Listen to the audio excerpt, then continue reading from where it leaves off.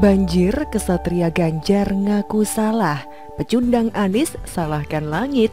Ditulis oleh Manuel di seword.com Halo Assalamualaikum. Jumpa lagi dengan Samara di channel TV Jurnal Banjir Semarang terjadi karena memang curah hujan yang sangat tinggi membuat jalan-jalan di kota Semarang tergenang. Seharusnya Ganjar Pranowo bisa lewat sistem otonomi daerah menyalahkan wali kota Semarang yang enggak beres. Sah-sah saja kalau Ganjar salahkan mereka, tapi dia tidak egois. Dalam satu jam Semarang surut, banjir yang sempat ingin dijadikan buzzer Balai Kota DKI termasuk Rocky Gerung membuat dia gagal ejakulasi. Sedangkan Anis, banjir katanya surut 6 jam, ditawar 24 jam, lalu berhari-hari masih menggenang. Dia salahkan langit, Gak heran kan dia kena karma? Ganjar Pranowo adalah sosok gubernur Jawa Tengah yang memiliki sikap kesatria. Kesatria tidak perlu serta-merta harus merasa diri hebat dan di atas yang lain. Jiwa kesatria adalah gentleman. Gentleman diambil dari kata gentle artinya lemah lembut. Unik ya, biasanya yang kita tahu tentang gentleman adalah orang yang maco dengan sikap kebapaan yang merasa diri bisa mengajarkan banyak orang. Tidak, gentleman adalah jiwa kesatria yang menjunjung tinggi kejujuran, menjunjung tinggi keadilan. Inilah yang dimiliki oleh Ganjar Pranowo, Gubernur Jawa Tengah yang menang telak dan mempecundangi mantan Menteri Joko Widodo, Sudirman Said yang ingin coba gunakan cara Anies untuk menang di Jawa Tengah menjadi teladan bagi kita semua. Teladan kepemimpinan Ganjar Pranowo luar biasa. Dia seharusnya tidak perlu merasa bersalah maupun mengaku salah. Kalau saya jadi dia, saya lebih memilih untuk menyalahkan pihak tingkat satu, yakni pemerintah kota Semarang. DKI Jakarta ini kan beda ya sama Jawa Tengah. Gubernur Jawa Tengah tidak bisa disamakan dengan gubernur DKI.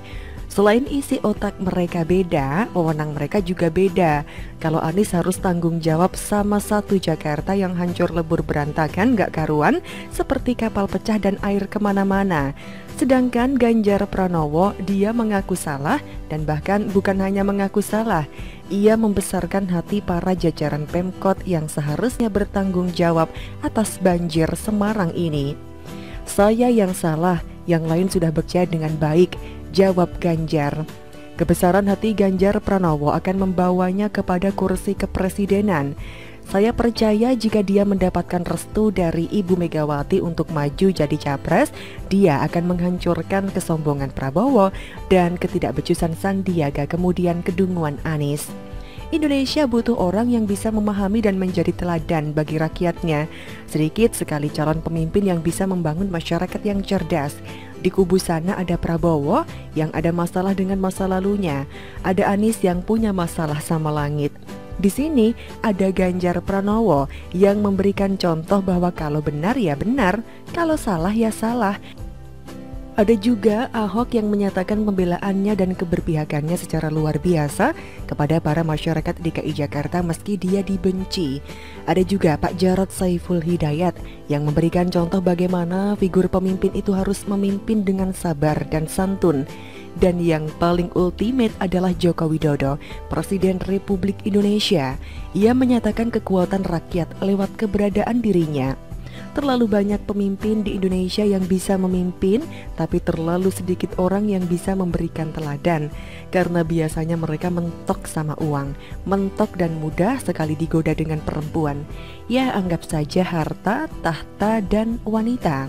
Selama ini Ganjar Pranowo adalah sosok yang menghancurkan harga masker yang diangkat gila-gilaan oleh Anies dan Ganjar kasihan kepada warga dan saat masker tiga lapis mahalnya gila, Ganjar keluarkan sebuah inovasi, masker kain. Anies pun murung. Ganjar ini pemimpin yang bisa dicontoh. Begitu ada kesalahan, pemimpin berani mengakui itu kesalahannya. Begitu ada keberhasilan, pemimpin mengapresiasi bawahannya yang berperan aktif untuk kemaslahatan orang banyak. Dia adalah kesatria. Masyarakat pasti tahu pemimpinnya bekerja atau hanya pencitraan saja. Sehat selalu Pak Ganjar, semoga Anda bisa menginspirasi banyak orang. Ganjar salahkan diri dan itu kesatria. Sedangkan si pecundang Anis, dia salahkan langit. Pantas saja dia kena karma terus-menerus, nggak ada hentinya. Bagaimana menurut Anda? Silahkan untuk tulis komentar. Jangan lupa untuk like, subscribe, dan juga share. Jangan beranjak dari layar smartphone Anda, karena ada narasi keren setelah ini.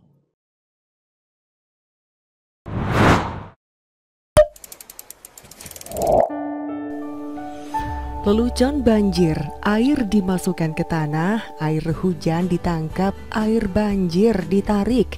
Ditulis oleh Sardi di seword.com. Assalamualaikum, jumpa lagi dengan Samara di channel TV Jurnal. Membaca judul artikel di atas kalian pasti lumayan paham dan bahkan ada yang mau ketawa. Judul di atas adalah istilah khas dari gubernur ibu kota dan timnya. Gubernur yang sebenarnya lebih cocok dari dosen atau motivator atau paling cocok jadi profesor bidang studi ilmu merangkai kata.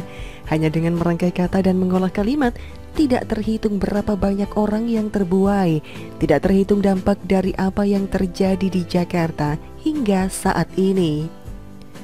Masih seputar banjir, banjir ini tidak lepas dari janji Anies dulu semasa kampanye. Salah satunya adalah tidak akan melakukan penggusuran. Akibatnya, normalisasi sungai tidak dapat dilanjutkan. Pembebasan lahan yang harus merelokasi warga di bantaran kali tidak kunjung dilakukan. Dan yang paling epik adalah ketika Anies membuat statement yang terlihat pintar, tapi sebenarnya sembarangan dan ngawur. Dulu, menurut Anies, kesalahan besar Jakarta adalah membuat gorong-gorong untuk mengalirkan air ke laut. Hal tersebut melawan sunatullah atau hukum alam. Air hujan seharusnya dialirkan ke dalam tanah, bukan ke laut. Begitulah kira-kira kata Anies waktu itu. Kalau kita lihat di kota-kota metropolitan besar seperti New York yang membangun gorong-gorong besar untuk mengalirkan air ke laut demi mencegah banjir, berarti mereka melawan hukum alam. Faktanya, kota tersebut jauh lebih aman dari serangan banjir ketimbang Jakarta. Dengan bangganya dia bicara soal hukum alam dan menawarkan solusi alternatif yaitu drainase vertikal. Ini pun sangat memalukan. Dari target yang katanya 1,8 juta drainase vertikal, ternyata baru siap sekitar kurang lebih 1700-an. Kalau kalian paham matematika, ini hanya tercapai 0,1% dari target dalam waktu 3 tahun. Kalau begini, mau capai 100% harus dikalikan 1000, maka butuh 3000 tahun untuk selesaikan target tersebut. Keburu kiamat mungkin. Salah satu lelucon berikutnya datang dari salah satu anggota TGUPP tahun lalu saat terjadi banjir besar. Dia meminta agar warga menangkap air hujan untuk mencegah banjir di Jakarta. Menurutnya, tidak akan menangkap air itu bagian dari konsep naturalisasi sungai yang diusung Anies. Warga mestinya menyediakan lahan resapan di rumah masing-masing untuk menahan air. Air hujan harus ditahan di rumah mereka hingga terserap ke dalam tanah. Itulah yang dibilang Gubernur Anies Nathan, tangkap, gunakan, resapkan, sisanya baru buang. Tangkap hujan, gunakan air hujan, resapkan air hujan, sisanya baru buang. Itu namanya naturalisasi, katanya. Menangkap air hujan, apakah hujannya melakukan tindakan kriminal sehingga harus ditangkap? Apakah airnya ketahuan korupsi? Atau malah ketahuan ngintip orang mandi atau dorong nenek-nenek jatuh ke selokan? Main tangkap aja. Nanti airnya nangis atau melaporkan balik dengan dugaan penistaan terhadap air gimana? Yang terakhir adalah saya baca sebuah judul berita. Lihat di gambar utama artikel ini. Banjir kata Anies airnya harus ditarik. Istilah ini benar-benar lucu aja sih di telinga saya. Saya yakin airnya itu maksudnya dipindahkan. Tapi kenapa harus pakai kata ditarik? Memangnya mau main tarik tambang? Atau airnya bandel disuruh jangan banjir malah banjir Makanya airnya dijewer lalu ditarik tarik si semongko Besok-besok apalagi istilah yang digunakan? Mungkin kalau banjir lagi airnya akan disekap dan ditahan Atau airnya akan diajak ke balai kota Diajak bicara baik-baik, diajak diskusi. Bila perlu dirayu dan disuap biar tidak menggenangi Jakarta lagi. Kalau masih tidak mau juga mungkin airnya harus diperbaiki akhlaknya. Pakai revolusi akhlak ala Rizik. Biar lebih komplit diperbaiki moralnya seperti yang dilakukan gerakan kelompok sok bermoral itu Bersabar aja lah, istilah-istilah lawakan ini sudah menjadi bagian dari Jakarta selama tiga tahun terakhir ini. Bisa jadi mungkin ini adalah candaan untuk menghibur warga yang misalnya terdampak banjir agar tidak terlalu bersedih. Memilih pemimpin dengan cara yang penuh lelucon, maka akan didapatkan momen-momen penuh lelucon seperti ini. Yang penting lucu, rakyat sudah puas. Perkara banjir, peduli amat. Toh siapa suruh milih dia? Terlalu gampang mengiyakan janji manis. Bagaimana menurut Anda? Silahkan untuk tulis komentar di kolom komentar Jangan lupa untuk like, subscribe, dan juga share Samara pamit, wassalamualaikum warahmatullahi wabarakatuh Bye